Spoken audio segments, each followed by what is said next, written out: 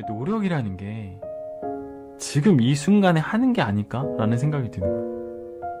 그러니까 노력이라는 게 영어 공부를 매 시간 이렇게 계속 해야 되고 운동을 계속 해야 되고 그러니까 노력을 해. 그거 알아. 근데 그 노력이 뭐냐고. 저는 그게 궁금했잖아요. 노력은 지금 이 순간에 하는 거야. 근데 우리 고긴스 형님이 그랬잖아요. 동기부여가 아니라 규율을 정하라고. 그러니까 우리가 시동만 거는 게 아니라 출발해야 될 거 아니에요. 아프거나 뭐 비가 오거나 눈이 오거나 뭐 이유 불문하고 하고자 한 게 있으면 그냥 하라고 하잖아요. 네 기분 이런 거 상관하지 말고. 그러니까 지금 내가 하려는 걸 지금 그냥 하는 거야. 그게 노력이지 않을까? 갑자기 그게 생각이 나는 거예요. 그래서 노력이라는 건 지금 이 순간에 하는 건가?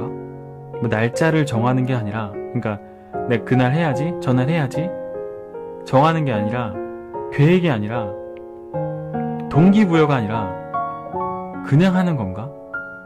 라는 생각이 드는 거예요. 그래서 저는 또 카톡에다 썼습니다. 노력은 지금 이 순간 그냥 하는 거야. 저는 그런 생각이 딱 들었어요. 맞는 것 같아요. 내가 뭔가를 찾으려고 자꾸만 생각을 하고 뭔가를 하려고 하니까 이게 자꾸 끌어당김의 법칙으로 인해서 저한테 그거를 알려주려고 하는, 하는 거가. 그래서 리뷰를 준비하고 해봤어요.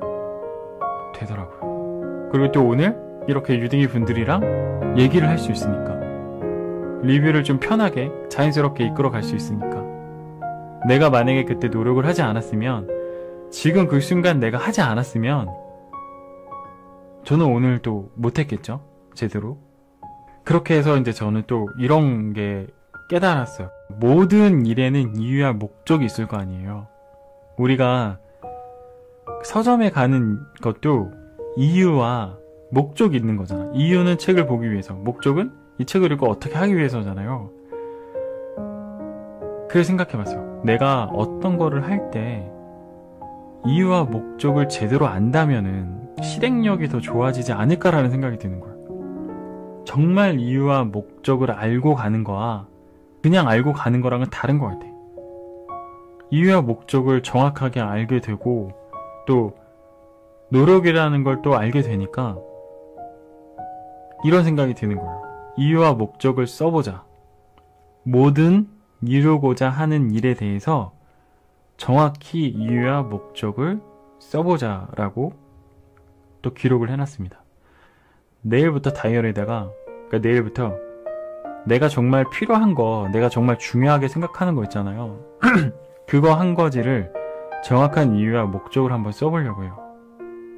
나를, 나를 생각만 하는 게 아니라 내가 눈으로 보고 내가 생각을 하면서 그래서 확실하게 알려주고 싶었어요. 나 자신한테 쓰면서 이유와 목적을 딱 써보자. 글 쓴 거는 하겠지. 그런 노력이라는 걸. 지금 이 순간 그냥 하는 거. 저는 유딩이 분들한테 얘기를 했잖아요. 저희가 노력이라는 걸 찾고 싶다. 이거를 유딩이 분한테 탁 내뱉으니까 자꾸만 이거를 정말 찾아야 되는 그런 의지가, 의무 의지가 생기는 것 같아. 노력은요, 내가 이루고자 하는 거 있잖아. 내가 지금 하고자 하는 거를 그냥 하는 거예요.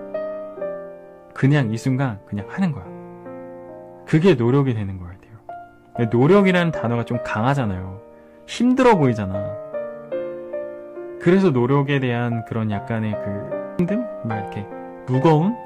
약간 이런 느낌이 드는데 그냥 지금 이 순간에 하는 거야 라고 생각하면은 이거는 어렵고 내가 못하는 게 아니야. 약간 그런 가벼움을 느낄 수가 있으니까 좋더라고요. 그래서 이런 게, 어, 그래서 계속 생각이 나더라고요.